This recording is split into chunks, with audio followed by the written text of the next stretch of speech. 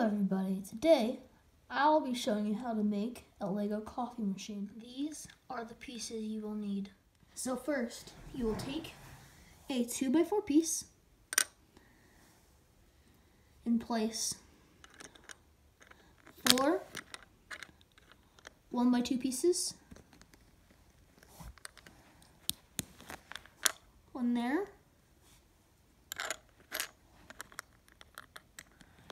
One there, one there, and one here. So now you will take your two one by two tile pieces and place them right here.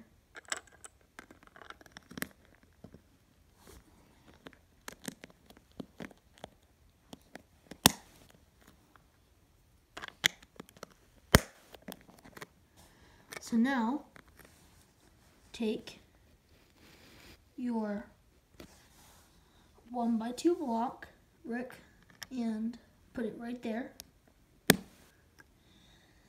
Take your snot brick and put it here. I don't know what this brick is called, but that brick there, put it here.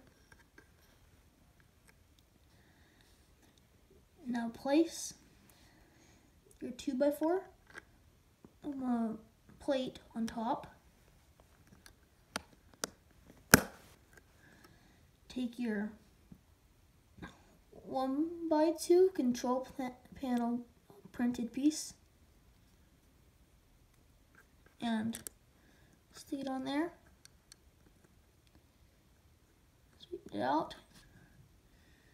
Take a one by two, I mean, yeah, grill piece. Put it right there. Now take a coffee cup, put it right there. Now to make the coffee pot, so you take this two by two rounded piece, take this one by two black tile, Put them together. You can slide that in now.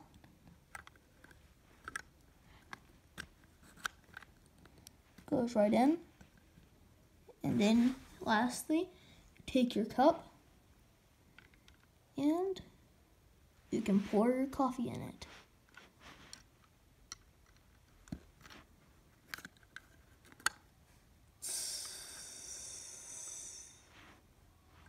So that's how you create a Lego coffee machine.